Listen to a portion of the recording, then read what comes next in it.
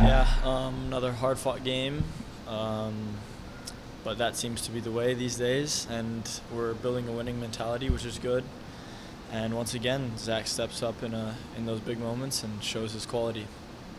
And what was coach's message at halftime after equalizing and then after going down for Philly? Um, and what did you see on that uh, corner that led to this this goal? Yeah, um, we had some tactical changes at halftime just to, to allow us to be a little bit more front foot. Uh, and that was kind of the message mentally as well from him, just to be a bit more aggressive, try and win some more balls in there, play the game in their half, which is what we do well. And I don't think we did that in the first half. But this team is strong mentally, and we came out the second half and we prepared ourselves for that, and we were able to do that. And I think we were on top of them uh, which leads to things like corners. Um, and we had quite a few. And when that ball popped out to me, I had one earlier in the game that I sent over the top. So my only thought was keep it down. And I saw a small gap, and luckily I just caught it well. And what is your thought process as you see that the game is going to PKs? Are you nervous about the possibility of taking one? Were you in the rotation? And what is kind of the message to your teammates to stay calm, the ones that maybe are first to step up? Yeah, I think it gives you a lot of confidence to have a guy in goal like Zack.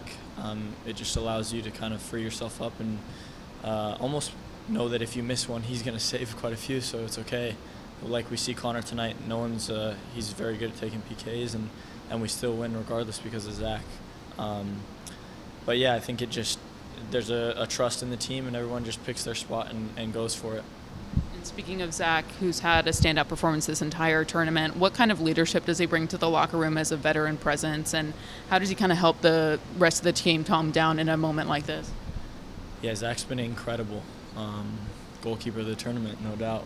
Um, but he's he's a great guy, and he stays very calm, um, and kind of brings a calm leadership, which is is good and a bit rare.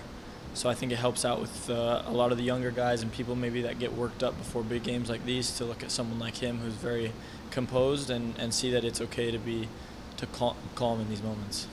And back to a CONCACAF Champions Cup, you know, appearance in 2025. What are you most looking forward to from that tournament appearance? And, you know, what's to come for the rest of the season?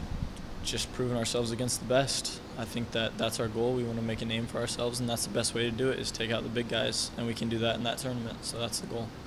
And last one, you know, right back into the regular season on the weekend with Dallas.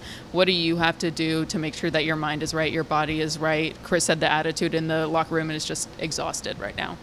Yeah, we're all tired, um, but we'll get back and, and reset, and I'll have no doubt that this team will be ready to go for, for Saturday.